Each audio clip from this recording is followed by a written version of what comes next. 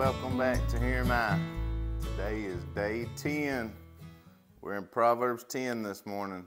It's a long chapter, it's, it's deep, it's got a lot, a lot of stuff in it. So let's get started. So this one is Proverbs for all people.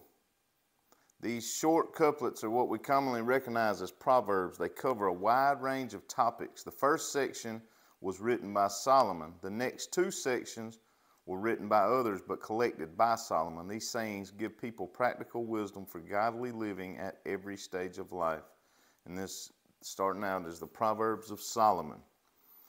The Proverbs of Solomon A wise son maketh a glad father, but a foolish son is the heaviness of his mother. Treasures of wickedness profit nothing, but righteousness delivereth from death. And what that's saying there is some people bring unhappiness on, on themselves by choosing wrong living. For example, craving satisfactions. They may do something that destroys their chances of ever achieving happiness. God's principles for right living bring lasting happiness because they guide us into long term right behavior in spite of our ever changing feelings. Verse 3 The Lord will not suffer the soul of the righteous to famish, but he casteth away the substance of the wicked. And that's saying Proverbs is full of verses contrasting the good person with the wicked. These statements are not intended to apply universally to all people in every situation. Some good people do starve. Rather, the verses communicate the general truth that the life of the person who seeks God is better in the long run than the life of the wicked person. You know, we talk about that all the time. We're looking for the end goal. It's not about right now, it's about the end goal. A life which leads to ruin. These statements are not ironclad promises, but general truths. In addition, a proverb like this assumes a just government that cares for the poor and needy, the kind of government Israel was intended to have. You can refer back to Deuteronomy 24 17 through 22 on that. A corrupt government often thwarts the plans of godly men and women. Verse 4 He becometh poor that dealeth with a slack hand, but the hand of the diligent maketh, maketh rich. He that gathereth in the summer is a wise man, but he that sleepeth in harvest is a son that causeth shame. And in those two verses, 4 and 5, it's saying, Every day has 24 hours filled with opportunities to grow, serve, and be productive. Yet it is so easy, easy to waste time, letting life slip from our grasp instead of refusing, instead, refuse to be a lazy person, sleeping or frittering away the hours meant for productive work. See time as God's gift and seize your opportunities to live for Him. That's really good. Blessings, verse 6 Blessings are upon the head of the just, but violence covereth the mouth of the wicked. The memory of the just is blessed, but the name of the wicked shall rot. The wise in heart will receive commandments, but a prating fool shall fall. He that walketh uprightly walketh surely, but he that perverteth his ways shall be known. He that winketh with the eye causeth sorrow, but a prating fool shall fall. Verse 10 it's saying there, sin is serious not just because of what it does to us and to others, but because it is a personal rebellion against God. He does not take sin lightly, and we dare not either. If there is in, if there is an area in your life that you have been withholding from God's control, end your rebellion. If you have minimized and rationalized disobedience, put aside your excuses. Don't wink at sin. Boldly confront it and confess it to God because sin is serious business. Verse 11 The mouth of a righteous man is a well of life, but violence covereth the mouth of the wicked. Hatred stirreth up strife, but love covereth all sins. Love covereth all sins. Love that one. In the lips of him that hath understanding wisdom is found, but a rod is for the back of him that is void of understanding. Wise men lay up knowledge, but the mouth of the foolish is near destruction. The rich man's wealth is his strong city, the destruction of the poor is their poverty. The labor of the righteous tendeth to life, the fruit of the wicked to sin. He is in the way of life that keepeth instruction, but he that refuseth reproof erreth. He that hideth hatred with lying lips, and he that uttereth a slander is a fool. Says there, by hating another person, you may become a liar or a fool. If you try to conceal your hatred, you end up lying. If you slander the other person and are proven wrong, you are a fool. The only way out is to ask God to change your heart. Verse 19 In the multitude of words there wanteth not sin, but he that refraineth his lips is wise. The tongue of the just is as choice silver, the heart of the wicked is little worth. Verse 20 is saying, A lot of poor advice is worth less than a little good advice. It is easy to get opinions from people who will tell us only what they think will please us, but such advice is not helpful. Instead, we should look for those who will speak the truth even when it hurts. Think about the people to whom you go for advice. What do you expect to hear from them? That's, that's really good. A lot of poor advice is worth less than a little good advice. I really like that. The tongue of the just is choice silver, but the heart of the wicked is little worth.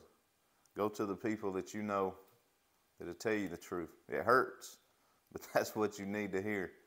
Anybody can keep patting you on the back and saying, "Ah, oh, it's it's gonna get better. Just keep on doing what you do." No, sometimes you need you need to hear the truth. I know I've, I've had in my life before. Okay, verse 19. No, verse 21 The lips of the righteous feed many, but fools die for want of wisdom. The blessings of the Lord it maketh rich, and he addeth no sorrow with him. Saying there in verse 22 God supplies most people with the personal and financial abilities to respond to the needs of others. If we all realized how God has blessed us, and if we all used our resources to do God's will, hunger and poverty would be wiped out. Wealth is a blessing only if we use it in the way God intended. I like that. You know, we we take for granted a lot of times the blessings we take for granted all the time. I'm gonna go ahead and say it for all the blessings the Lord's give us. We always we always want more. Our wandering eye, you see somebody driving the brand new truck, and you, you feel like you need it. Um, it's just we live in a day of want, want, want. We got to have more, got to have more, got to have the best. And you will work yourself into a grave trying to have these materialistic things that are going to take you nowhere in life. I mean, they're, they're not going to help you in, in eternity. Um, so that's, that's really good.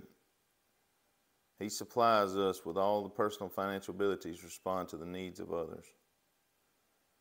You know, if we if we prayed every night, every morning, and thank God for everything He's blessed us with, we wouldn't even be able to leave the house.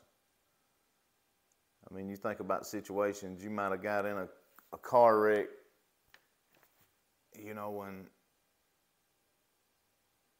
you're mad because you got in a wreck, but the Lord could have had saved you from from something way worse.